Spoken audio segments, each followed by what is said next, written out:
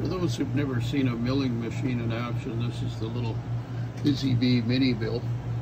Um, and I'm just machining both sides of a boss and I'll eventually flip that'll fit in this slot in this round piece underneath here that I'm just using as a parallel to keep things level.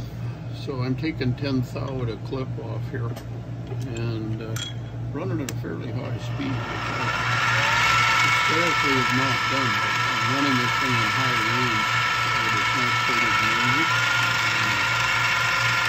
So 10 thou at a clip coming off here. I've got the boss table locked so it can't move. And my little up last night, I had grabbed that lower handle and I really needed to grab that upper. So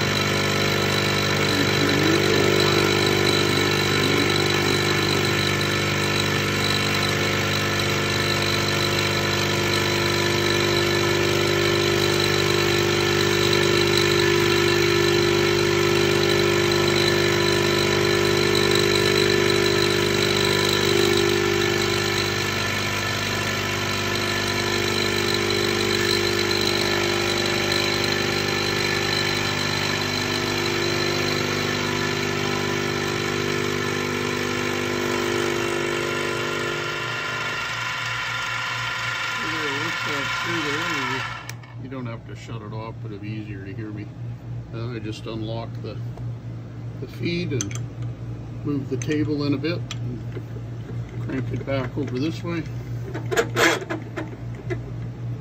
And bring the table back to where it was plus 10 thou. And do it all over again.